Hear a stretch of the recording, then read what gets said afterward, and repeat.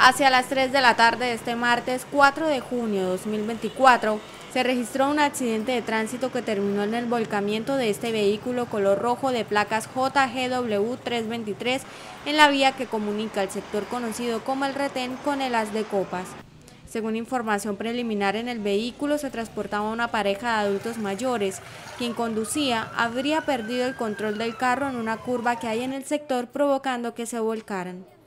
Los adultos mayores resultaron heridos y de inmediato la comunidad hizo el llamado a personal paramédico, quienes rápidamente llegaron al sitio para atender la emergencia. La pareja fue remitida a un centro asistencial de la ciudad donde a esta hora reciben atención médica.